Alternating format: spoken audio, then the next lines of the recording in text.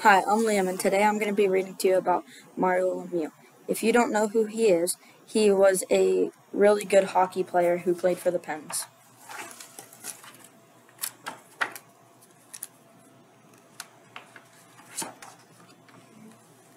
Whenever Mario Lemieux is on the ice, he he threatens to dominate the game, playing against the the New Jersey Devils on New on New Year's Eve in 1988. Mario put on a show that that will never be forgotten. He scored 5 goals and added 3 assists for 8 points, becoming the first player in NHL history to score 5 goals in 5 different ways.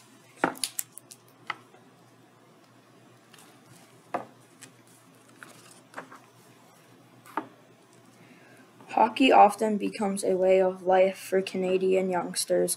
Many boys learn to skate as soon as they can walk, and th- and they practice the sport any chance they get. Mario Lemieux, like the young, like the youngster here, played in in leagues all the time while growing up.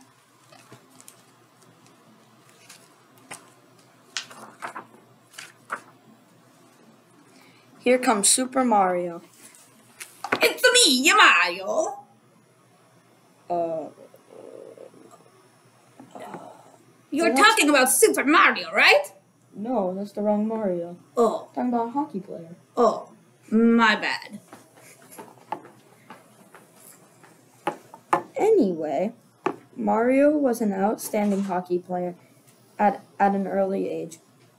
By the time he was playing with Lava in junior ho- Laval in junior hockey, his bedroom had his his bedroom at home had taken one the look of a real trophy room. Here here young Mario shows off some of his hardware he had already won, and it was only the beginning. Is it my turn yet? No. Oh, okay. It's time to go pro. A smile a smiling Mario dons the jer- the jerseys of the Pittsburgh Penguins for the first time after singing with the National Hockey League club club in 1984, standing with his son, soon to be famous son in Jean-Guy Mario's father. Uh, It said the smiling Mario. A happy Mario celebrates his first National Hockey League goal. It came against the Boston Bruins at the outset of the 1984 and 1985 season. There would be many more moments like this for the for the big center, who would soon be called an all-time great. I know another Mario that's an all-time great. You? I'm guessing. It's a me, Mario. Mario showed his his great talent once again at the 1988 NHL All-Star Game. Not only did he score two goals and add three assists in regular in regular play, but it but it was um, it was goal goal in sudden death overtime that gave his team a six to five victory. Ne- needless to say, Mario was named the the game's most valuable player.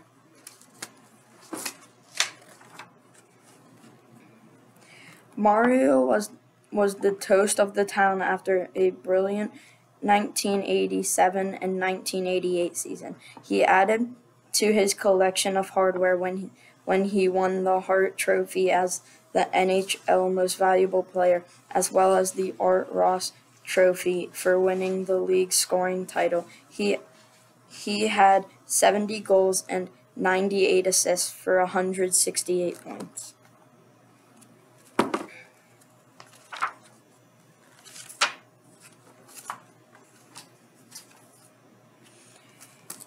It was at this point in the season that the story first broke in the newspaper. It came a surprise to everyone. Lemieux had been playing all year with a bad back. He had to herniate, he had herniated disc, and he told the press there there was a good chance he would need surgery after the season.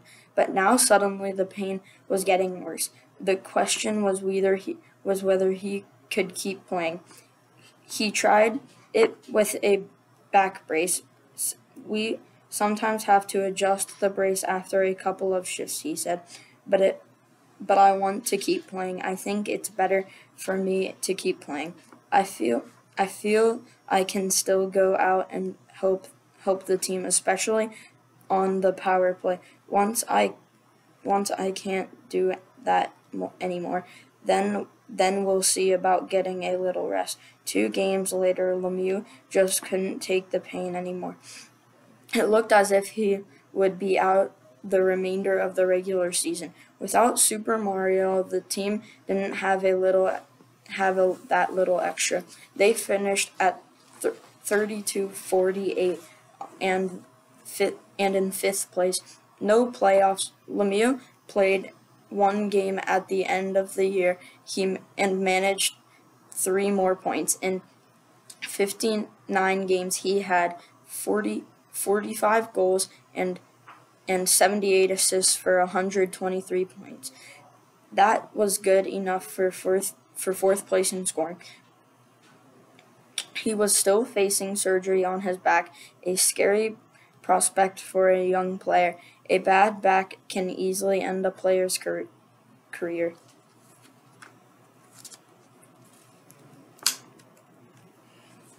Hockey is always an all out hard sport. Players returning from injuries don't have it any easier. Mario knew that he would have to be ready to hit to to be ready to hit and be hit.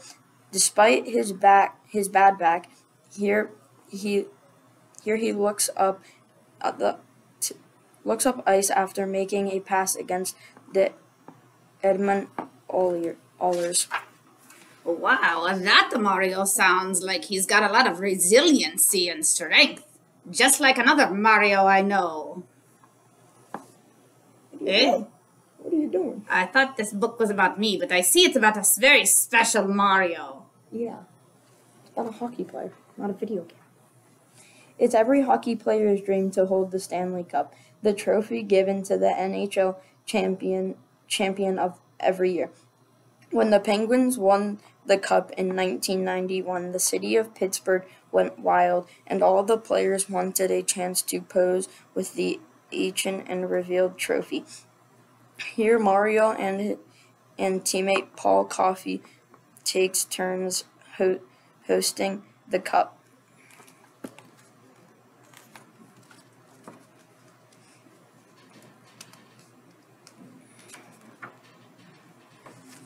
It seems as if only thing that can the only thing that can stop Mario Lemieux is his back. Although he recovered from surgery to lead the Penguins to to the Stanley Cup, Mario still has periods when back pains keep him out of the lineup. Wow, Liam, that was a great story. Thank you for reading to us. Well, that's it. Bye.